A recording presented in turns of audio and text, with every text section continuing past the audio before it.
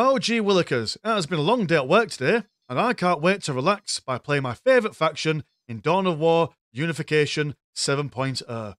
I'm going to really enjoy myself, and the game will definitely not crash. Good heavens, the game has crashed. I wonder what the problem could be. Oh, yes, unable to create a report. Please verify there is enough space in your temp folder. What an unusual problem that I've never seen before. I know what I could do to solve this problem. I am going to go over to my mod manager and I'm going to fiddle around with some settings. I will first turn the LAA on. I am then going to go into my settings and then go to my video.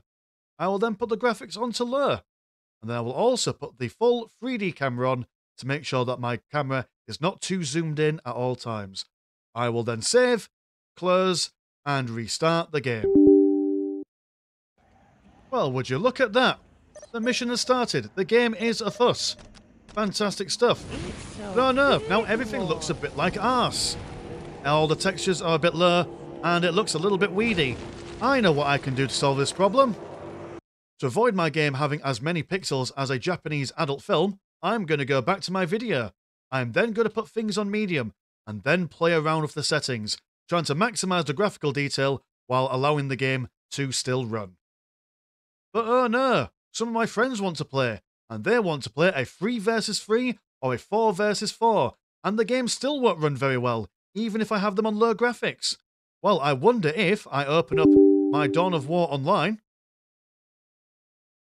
and then look at this, and my goodness, my gracious, there is an LAA on here as well, and I can also have no pre-cache models on, which sometimes fixes that issue too.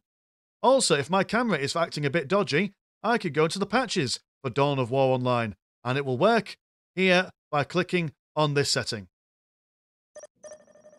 Well, hell's bells and a thousand smells, I have been able to make the game work on medium graphics, so now things don't look as terrible. So I'm now able to play with all my friends with a relatively high graphical quality. I have also downloaded a shader, or should I say a reshader, which allows me to affect the graphics of the game without adding any toll onto the CPU. Fantastic stuff.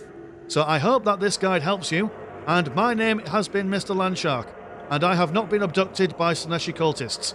Thank you, good night, and please subscribe.